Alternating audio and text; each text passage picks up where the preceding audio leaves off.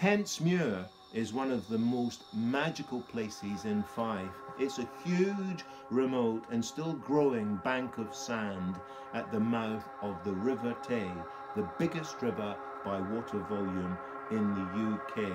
The vast Tentsmuir beach, stretching for mile after mile, is home to two large colonies of common and grey seals.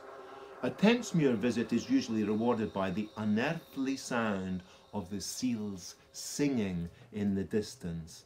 It brings to mind tales of mermaids and sirens luring sailors to shipwreck. This atmospheric place was my inspiration for the second movement.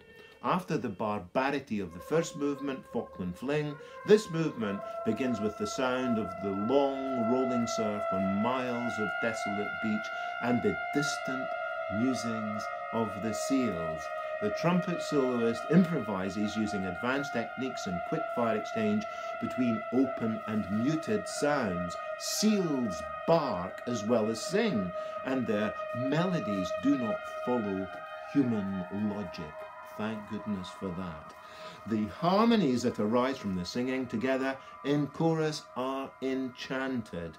After the opening for solo and live electronics, the basses enter under the first of four cadenzas.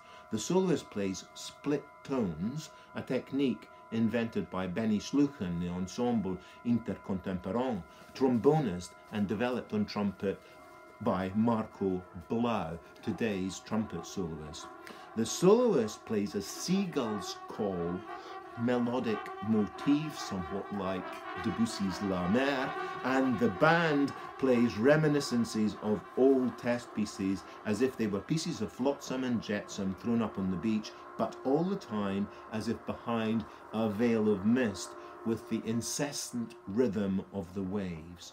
The veil is suddenly rent and a rhythmic dance breaks out and gradually the coastline is polluted by an orgy of dance which gets uglier and uglier till it disappears as quickly as it came and the soloist is left on his own to close the movement with the basses and seals alone on the beach at one once more with the elements.